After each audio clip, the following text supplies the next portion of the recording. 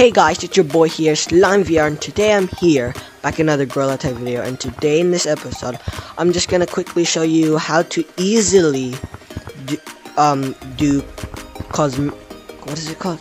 Competitive mode by doing no obstacles. It's very easy, but we do need to wall run if you know how to do it, but yeah, and also guys, I just want to say, I'm gonna be still making part 2 of Hunting PvP, so it's still coming up because yeah I'll be I promise you guys I will make it. And part 3 will be the last um last episode of the series of hunting PvP so yeah and I'm at part 3 I'm gonna be here um I'm gonna be joining um what am I saying?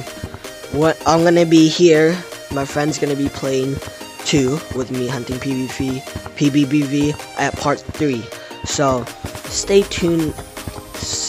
To do that is subscribe like the video turn on the notification bell so you'll never miss any any daily video girl type videos. And yeah further let's go. And but first you need the brick monkey so you can just go to a private server and be a private i mean be a brick monkey like me. So yeah. So for you let's go. So we just want to go at the city map go here. You don't need to do these obstacles, but you need to wall run. You go right here.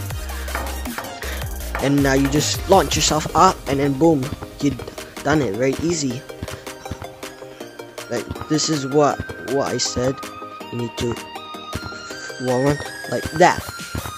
So yeah, that's how you easily, I already pressed this button, so yeah guys, short, that's how you do competitive that's how you do it. Very easy. And yeah. So so hope you liked the video. It's one short video. But yeah that's how you do it. Very easy. And yeah. So i'll see you guys soon. Bye